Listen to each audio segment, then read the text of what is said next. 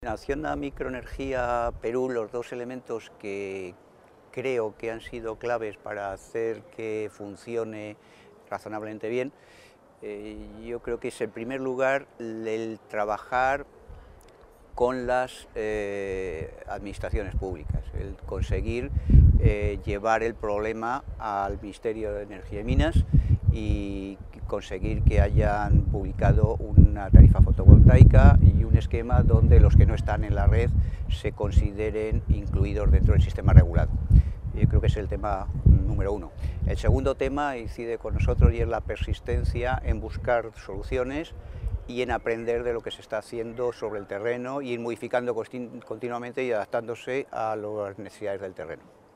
Yo creo que en el tema de relación entre los diferentes sectores para llevar soluciones a la base de la pirámide es fundamental que cada uno coja el compromiso de lo que tiene que hacer, pero también que ese compromiso sea mutuamente exigente, es decir, cada uno exija a los demás y le recuerde permanentemente qué cosas están pendientes de hacer por parte de cada sector.